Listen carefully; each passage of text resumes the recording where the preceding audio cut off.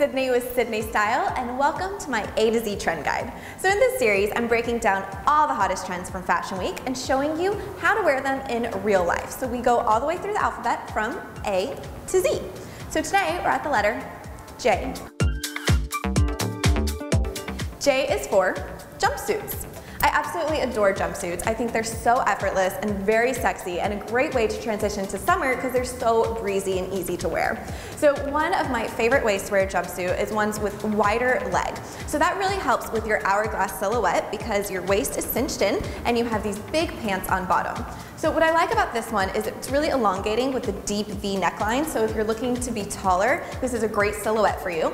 And I also like that it has this elastic waistband. So jumpsuits can be kind of hard unless you have this perfect body type. So an elastic makes it help fit whether you have a longer or shorter torso. And then you just want to hide the elastic, of course. So I just did this gold belt, which you'll see me wear all the time on my blog, Sydne Style. Now to dress it up for a night out, I wanted to add you know, a little bit of more gold elements. So I did some dangly earrings. If you do hoops, it's a little, you know, 270s. So I just wanted to add some crystal and then just some gold bracelets. Now another great thing about the wide leg jumpsuit is you can wear really comfy shoes underneath. So I just did this chunky platform that, you know, I wouldn't normally wear for a night out, but nobody will see it. Another really popular jumpsuit style this season is the cropped pant. So these have some elastic at the calf and then they just blouse over. So that's mostly the styles that you'll be seeing.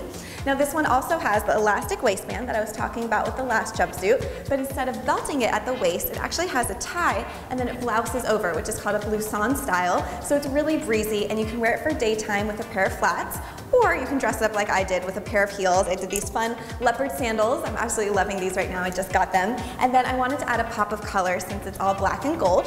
So I just did a coral bracelet and a little coral at my lips.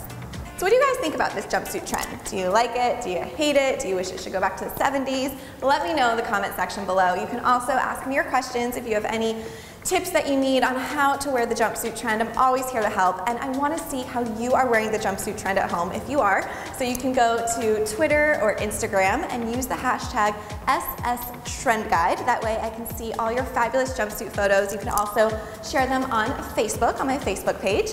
And if you need more tips on how to wear the jumpsuit or any other trends that we're covering in this A to Z series, just check out my blog, Sydne Style, and I will see you every Tuesday and Thursday for a new trend episode. Bye!